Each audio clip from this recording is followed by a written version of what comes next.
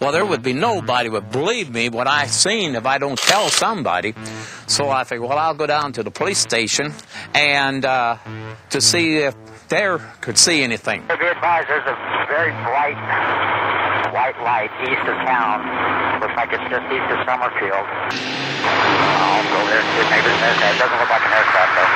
I reached back in the car, picked up my radio to tell CENTCOM where it was at and so forth.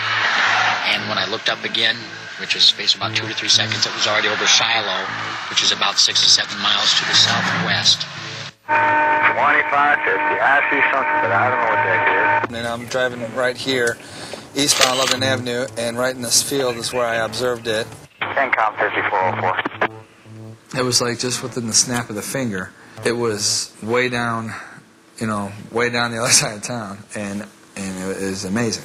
And there was no And sound. Not a sound at all, none whatsoever. So I hopped out of my patrol car, went to the rear of the trunk, grabbed the Polaroid, and snapped a quick picture of it as it headed to the north.